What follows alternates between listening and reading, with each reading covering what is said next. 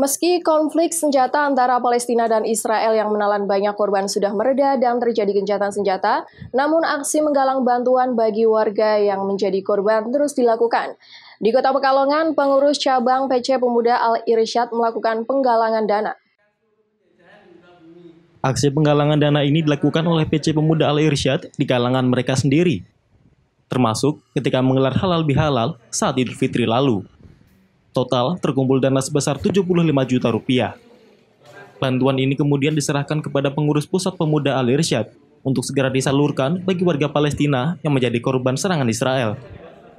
Aksi ini sengaja dilakukan karena mereka menilai yang terjadi di Palestina ini tidak sekedar konflik senjata, tapi tragedi kemanusiaan.